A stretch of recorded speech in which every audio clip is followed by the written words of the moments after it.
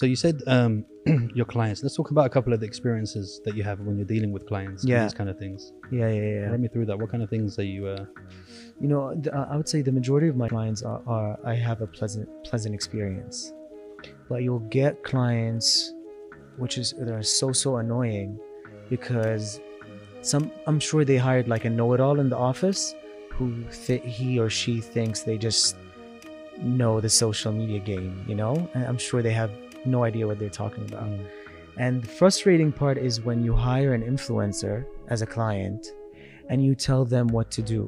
You know, you tell Mm. them exactly what to do.